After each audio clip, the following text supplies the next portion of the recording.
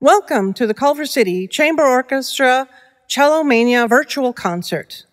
This concert is a salute to the frontline workers who work tirelessly to help and protect us during this COVID-19 pandemic. This performance is in two parts.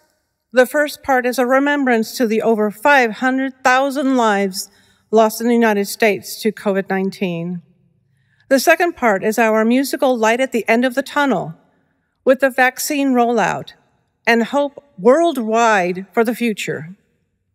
We will see normalcy soon and hope to see you on the stage again. We will all survive this. Thank you, and please enjoy this concert.